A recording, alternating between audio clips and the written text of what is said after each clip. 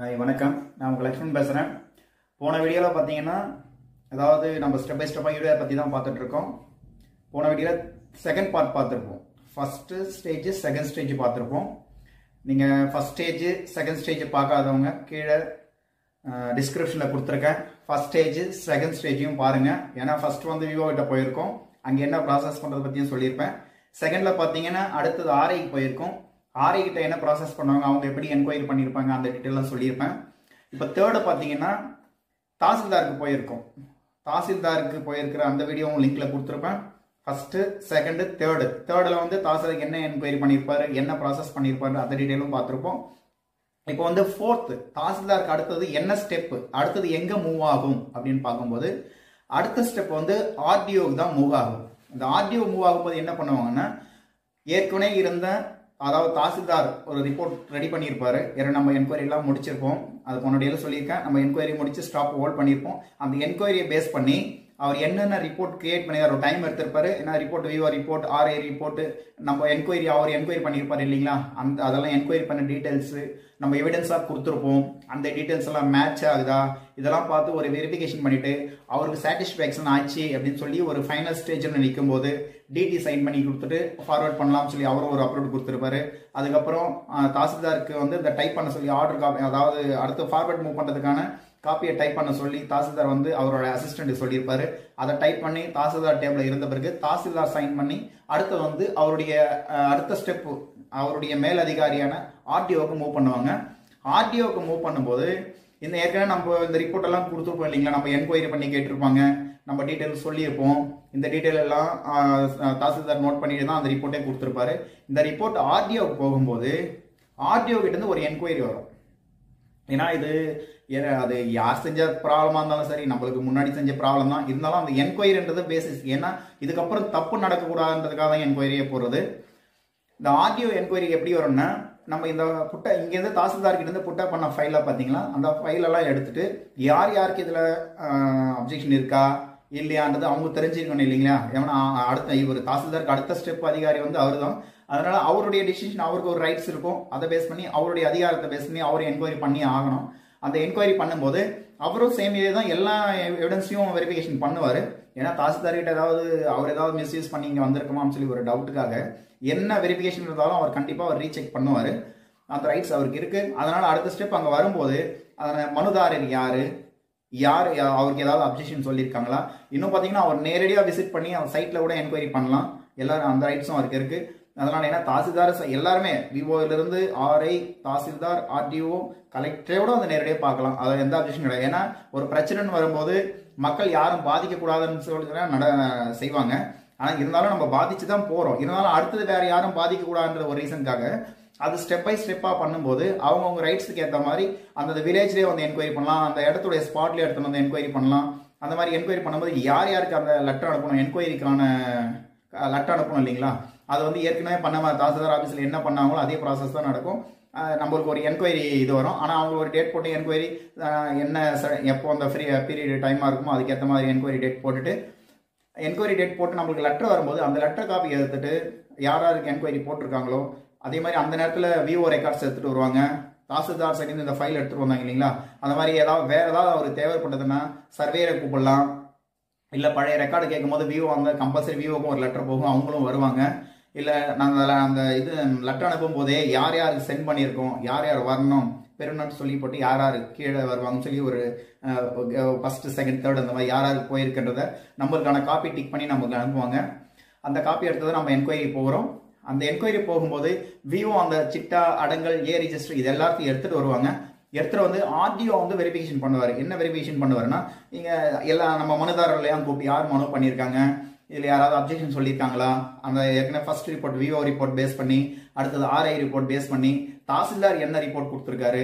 அந்த நேரத்தில் நாம என்ன என்கொயரி என்ன சொன்னோம்? இப்போ சொன்னதுக்கு ஏதாவது மிஸ் மேட்ச் ஆகுதா? ஏன்னா தாசில்தார்கிட்ட ஒன்று சொல்லியிருப்போம் விஓட்ட ஒன்று சொல்லியிருப்போம் ஆர்ஐ கிட்ட ஒன்று சொல்லியிருப்போன்றது அதெல்லாம் பார்ப்பாங்க. பார்த்துட்டு எல்லா இடத்துலையும் கரெக்டாக ஒன்றா தான் சொல்கிறாங்களா அடுத்து நம்ம கேட்கும்போது வேற ஏதாவது வருதா?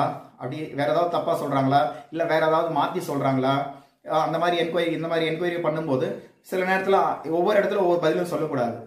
ஏன்னா நம்ம ஜெனுவன் ப்ராப்பர்ட்டியாக இருந்தால் நம்மளுக்கு ஒரே பதில் தான் வரும்.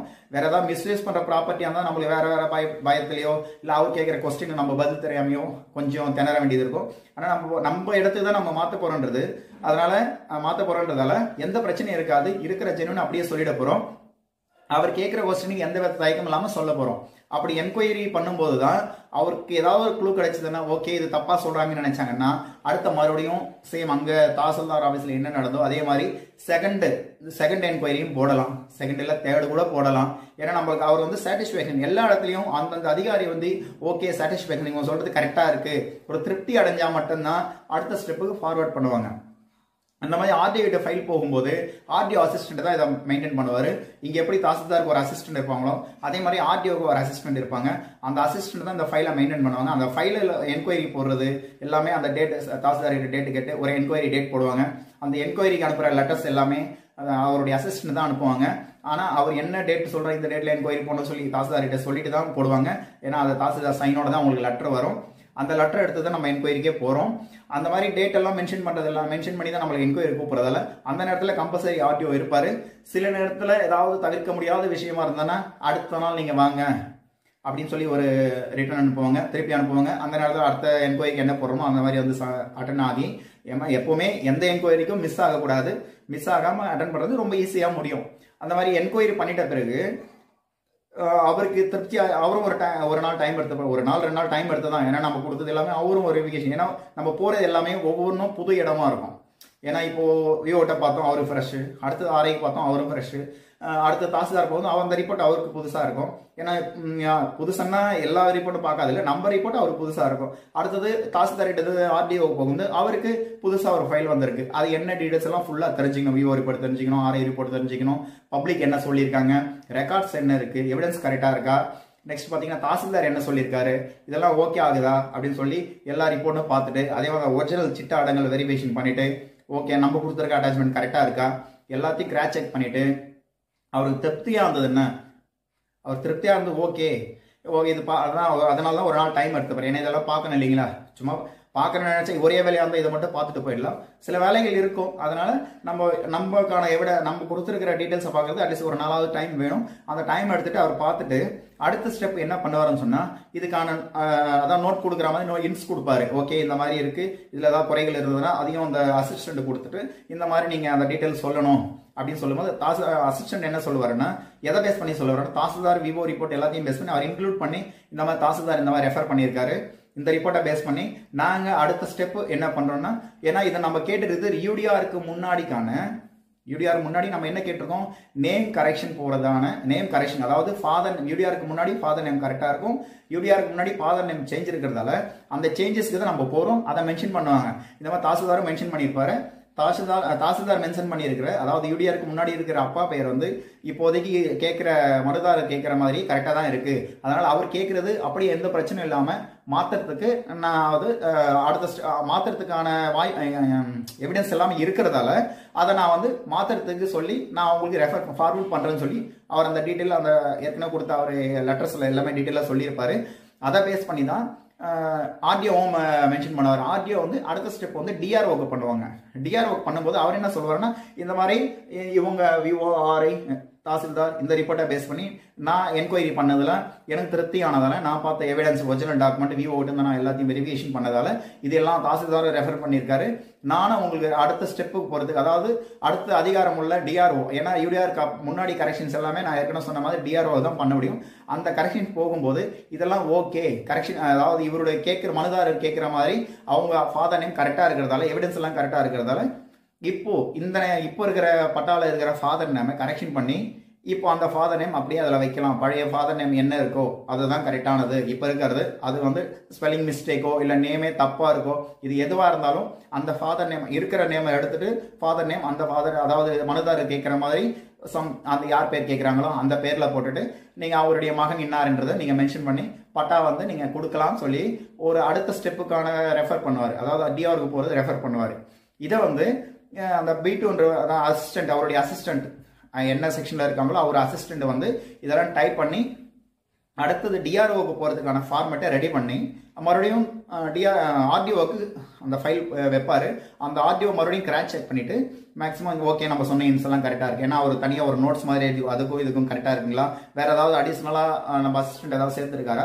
அந்த மாதிரி வெரிஃபிகேஷன் பண்ணிவிட்டு அதை பார்த்துட்டு ஓகே இந்த ஃபைலை நீங்கள் வந்து அடுத்த ஸ்டெப்புக்கான மூவ் பண்ணலாம்னு சொல்லும்போது தான் அடுத்த ஸ்டெப் வந்து டிஆர்ஓக்கு மூவ் ஆகும்.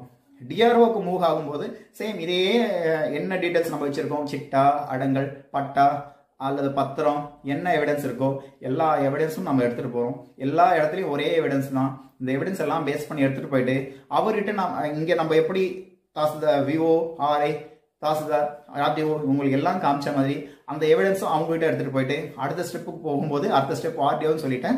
அந்த ஆர்டிஓ ஆர்டிஓ சார்கிட்ட போகும்போதும் அந்த எவிடன்ஸ் எல்லாம் நம்ம எடுத்துகிட்டு போயிட்டு அவர் கேட்கும்போது என்கொயரிக்கு போடும்போது அந்த டீட்டெயில்ஸ் எல்லாம் கொடுக்கணும்.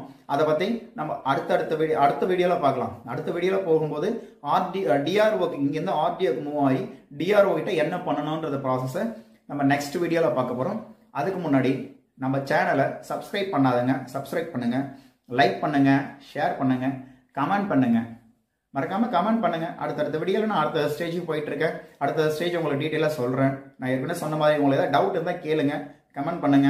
சில பேர் கால் பண்ணி கேட்டிருந்தாங்க. ஏற்கனவே நான் சொல்லியிருக்கேன். அந்த வீடியோஸில் சொல்லியிருக்கேன். அதை நான் இருந்தாலும் அவங்களுக்கு கால் பண்ணும்போது சொல்லியிருக்கேன். அவங்க ஸ்கிப் ஸ்கிப் பண்ணி பார்த்ததால் அவங்களுக்கு புரியல. மறுபடியும் மறுபடியும் பார்க்க சொல்லியிருக்கேன். அந்த வீடியோ பார்த்தீங்கன்னா ஒரு கிளாரிஃபிகேஷனும் இருக்கும். அது புரியலன்னு சொன்னால் மறுபடியும் கால் கூட பண்ணுங்க. நான் அதுக்கான டீட்டெயில்ஸ் சொல்கிறேன் தேங்க்யூ விவர்ஸ்